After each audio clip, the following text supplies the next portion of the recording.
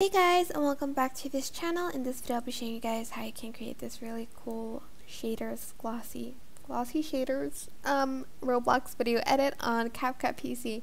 So I'm just going to crop the kind of like background a little bit just to make room for the like leg space down here. And I'm just going to um, copy and paste that and on this video I'm going to go to effects go to comic and add in the black and white sketch on top of that video.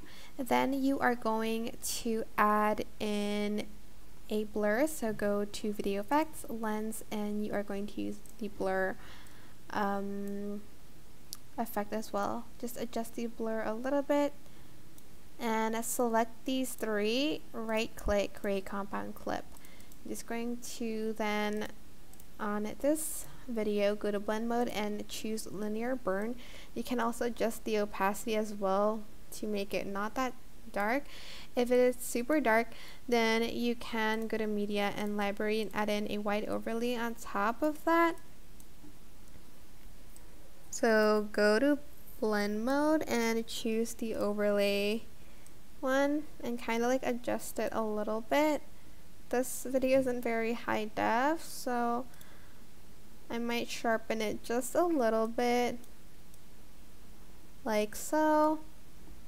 And then I'm going to just copy and paste this video on top of those and I'm going to rotate it 180 degrees and I'm also going to mirror it like so and I'm also going to go to mask. Let's go back and go to video, go to mask and choose split.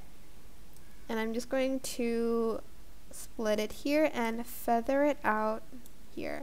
Go back to basic and just rearrange your video and this is what your video should look like at the end. I hope this tutorial was helpful for you guys.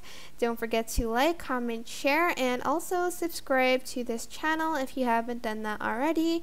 If you have any questions, just leave it in the comment section down below and I'll try my best to answer them all for you guys. And if you found this video helpful, please click the thanks button above the description box down below. Thank you so much for watching. Bye!